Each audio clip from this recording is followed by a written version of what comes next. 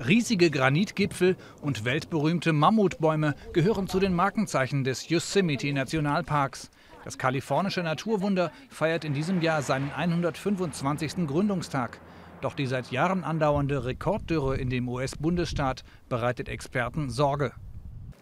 Scott Jediman arbeitet seit fast zwei Jahrzehnten als Ranger im Yosemite. Dieses Jahr zeigt sich die späte Schneeschmelze in den Wasserfällen, doch auch die sind weniger eindrucksvoll als sonst. Der Wassermangel im Park erreicht allmählich ein kritisches Stadium. Das ist für mich der echte Indikator.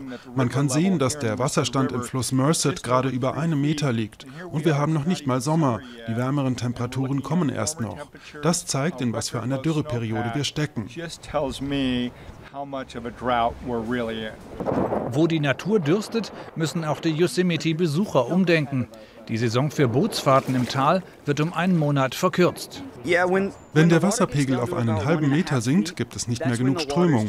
Die Algen wuchern und die Felsen ragen raus. Man muss mehrfach aussteigen und das Boot ziehen. Darum stellen wir den Betrieb bei einem halben Meter ein. Die Millionen von Besuchern werden angehalten, Wasser zu sparen. Dass es in dem Park daran fehlt, ist vielerorts zu sehen. Der Boden ist trocken und die übliche Sommerhitze kommt erst noch. Die Angst geht um, dass es im Yosemite wieder einen riesigen Waldbrand geben könnte wie 2013. Dabei sind dessen Spuren noch nicht verwischt.